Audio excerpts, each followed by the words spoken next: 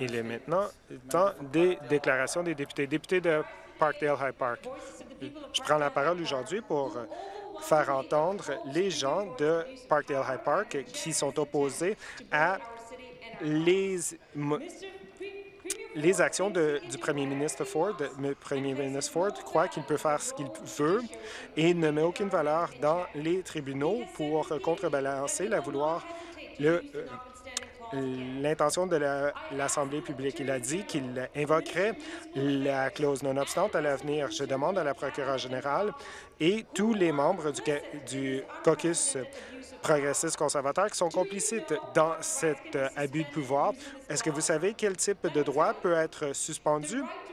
Je vais vous dire la liberté d'expression, de religion, de pensée, la liberté de la presse, d'assemblée publique, le droit de la protection de la vie de la personne, le droit de ne pas être emprisonné, le droit de la présomption à l'innocence et d'un procès juste. Prenez un moment de penser aux conséquences de vos gestes. Nous débattons d'un projet de loi qui suspend les droits et libertés lorsqu'il y a d'autres priorités plus urgentes qu'on doit traiter. On devrait s'attaquer à la crise sur les opioïdes et aux coupures en santé mentale et on devrait trouver des solutions et réparer les écoles. On devrait débattre des enjeux que les, les Ontariens s'attendent à ce qu'on débatte. C'est dommage que le premier ministre a fait seulement l'opposé jusqu'à maintenant.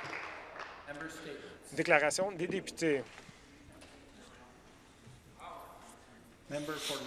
Député de London Fanshawe. Monsieur le Président, je prends la parole aujourd'hui pour aborder un enjeu très important, le projet de loi 31, la clause non-obstant le gouvernement a décidé de l'utiliser pour mettre la priorité sur le programme euh, du premier ministre Ford et de s'ingérer dans l'élection municipale de 2018. Ce gouvernement n'a pas eu de consultation avec les gens de l'Ontario. Le gouvernement ne croit pas qu'il devrait y avoir des consultations avec les gens, les Ontariens, à savoir quels changements ils devraient apporter dans la ville de Toronto. Le premier ministre a convoqué l'Assemblée pour débattre du projet de loi 31 parce qu'il croit que le juge Edward Bello-Baba avait tort lorsqu'il a décidé que c'était une violation des droits de la personne du projet de loi 31. Mais le gouvernement ne s'attendait pas à ce que les, les Ontariens soient ici à l'Assemblée. Le premier ministre et les députés ont eu l'audace de mettre en péril l'élection du conseil municipal de Toronto les gens ont parlé, ils ont été ici, ils ont scandé que nous sommes la population, nous sommes ici, nous sommes contre. Lorsqu'il s'agit de la prochaine élection, les, Ontariens vont se rappeler ce que vous avez fait. Vous avez miné tous les droits de la personne des Ontariens ici en utilisant la clause non-obstant pour miner les droits des Ontariens et ils se s'élèveront et se feront entendre en 2022. Déclaration des députés, députés d'Oshawa. Merci, Monsieur le Président. J'étais fier d'être ici euh, ce matin, hier soir, avec des collègues des deux côtés de la Chambre, au nom des Ontariens, plus précisément, pour aborder la question du projet de loi 31. J'étais ici à minuit. Je n'ai pas eu l'occasion d'en débattre de la façon que j'aurais voulu le faire et d'avoir l'occasion d'être assis au fauteuil pendant plusieurs heures, parce que j'étais assis au fauteuil pendant plusieurs heures mais je veux me faire entendre. Certains de mes commettants de plusieurs circonscriptions m'ont envoyé des, lettres. David Smith, non pas le député, mais... Non, il ne m'a pas envoyé de lettres, les députés. Au député de Durham, je suis empathique envers vous en tant que nouveau député. Ça devrait être un moment très enthousiasmant. Par contre, vous avez été imposé de, de débattre d'un projet de loi 31 et qui n'a rien à voir avec les Ontariens, mais plutôt l'intention vengeante de, de, de vengeresse de la part du premier ministre. Je suis tout à fait contre ce projet de loi. En tant que leader communautaire, vous êtes là pour défendre les droits des Ontariens et de la démocratie. C'est un triste chapitre dans l'histoire de l'Ontario. Au député de Peterborough, Karata, je vous demande d'agir contre le gouvernement dans ce cas-ci. Avec votre expérience, vous devriez savoir qu'on ne peut pas changer les règles au milieu du jeu. Faites ce qui s'impose. Aux députés, je ne peux pas croire qu'il ne me reste plus de temps, mais je serais contente de pouvoir partager toutes ces lettres avec vous de manière individuelle, si vous le voulez. Déclaration des députés, député d'Ottawa-Orléans. Plaisir pour moi de prendre la parole dans cette Chambre et de partager un peu ce qui se passe à Orléans.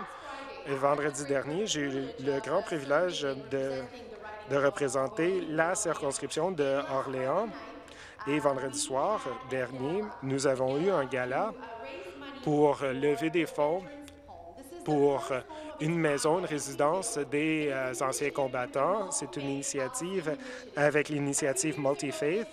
il y a quelques années, ils sont venus euh, voir les députés fédéraux et moi-même et le conseil municipal pour trouver une façon qu'ils pourraient reconnaître le travail des anciens combattants, le fait qu'ils vont travailler des fois ils reviennent ici, leur vie est complètement chamboulée.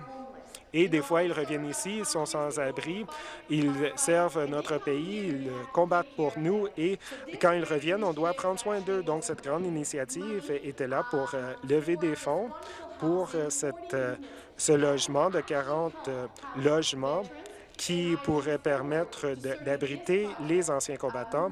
Et je serais contente de continuer d'appuyer ce projet à l'avenir. Et pour être juste, je vais peut-être envoyer une lettre au ministre de l'Infrastructure pour voir si ce gouvernement actuel voudrait peut-être appuyer cette initiative. Et même le ministre des Affaires municipales accueille cette initiative. Donc, on va se parler. Et merci beaucoup. Merci à tous les anciens combattants déclaration des députés, députés de Brantham-Nord. Merci, Monsieur le Président. Comme nous savons tous, la décision du juge a décidé que le premier ministre ne peut pas réduire la taille du conseil municipal. L'utilisation de l'article 33 et s'ingère dans les droits des personnes. Les personnes, pour les Ontariens, s'en plaignent. pour eux, ça ne va pas l'utilisation de l'article 33. Pour eux, selon eux, ça devrait seulement être utilisé dans des situations extraordinaires ou lorsqu'il y a une guerre. Et la dernière fois que j'ai vérifié, je ne pense pas qu'il y a une guerre qui se produit dans le sud de l'Ontario. Peut-être que j'ai tort, par contre. Mais c'est rien de nouveau, Monsieur le Président. Il y a certaines euh, des circonstances dans lesquelles, bien sûr, la compétences des tribunaux et des fois, ils font des erreurs et ce sont des circonstances extraordinaires, mais ce n'est pas le cas dans ce cas-ci. C'est rien de nouveau, Monsieur le Président. On peut peut-être être en désaccord avec la décision du juge, mais nous parlons d'une mesure pour changer la taille du conseil municipal. Et les députés, rappelez-vous, Monsieur le Président, que le juge a dit n'a pas dit que vous ne pouvez pas réduire la taille, mais plutôt que vous ne pouvez pas la faire au milieu d'une élection alors qu'une élection va être appelée. Donc, il n'y a aucune urgence, Monsieur le Président, et on n'a aucun besoin de ce projet de loi. Déclaration des députés.